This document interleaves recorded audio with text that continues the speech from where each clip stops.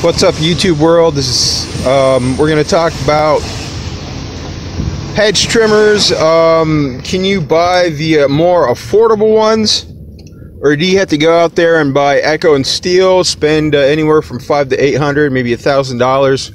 Um, my experience has been up to this point. Um, even the more affordable seventy to hundred dollar set of um, hedge trimmers that you buy, you know, they're kind of attachments for your home-based uh, um, individuals, residential uh, users, the weekend warrior. Um, those hedge trimmers are fine. Those are attachments, Ryobi. Uh, I think they're clicking something. Uh, I forget what they're called, but you know, I mean, you, don't have to go out there and spend the five hundred to eight hundred thousand dollars just because uh, you just got in the business and you, you, feel like you have to have the latest and greatest. Um, I have uh, Husqvarna um, power heads.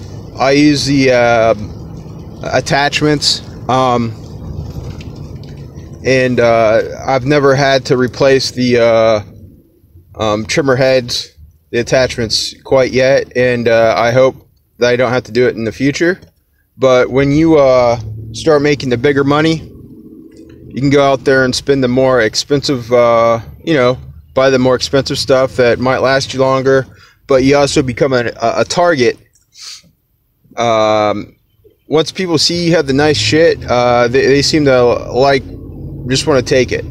So uh, sometimes it's easier or best not to have the most expensive equipment, something more affordable, something that um, if get, if it gets stolen, you don't have to make a insurance claim to uh, get it replaced.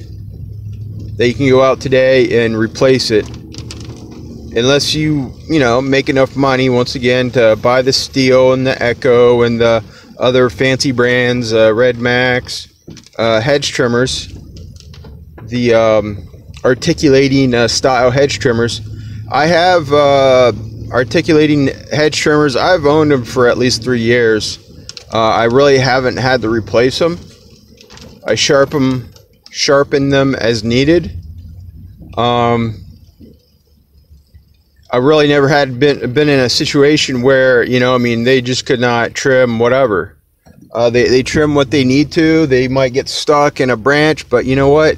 They're not torn up. The gears are not torn up. Um, now I, have had uh, Echo trimmers, uh, the you know the handheld ones, uh, not not the uh, attachment style where you have the power head with a, a trimmer, you know, edger uh, for the um, your sidewalk edger. But I've had handheld. Uh, I think it's HC 152s. It's a 26 inch bar. I've never had an issue with my Echo but I did get it stuck in a bush because that particular customer had an overgrown bush in their hedges and they had some kind of fancy uh, metal ornament that was still in there that they totally forgot about. So kind of kind of messed up the uh, blade a little bit but I don't really have to worry about it because I got it fixed uh, the speed works fine, everything works good.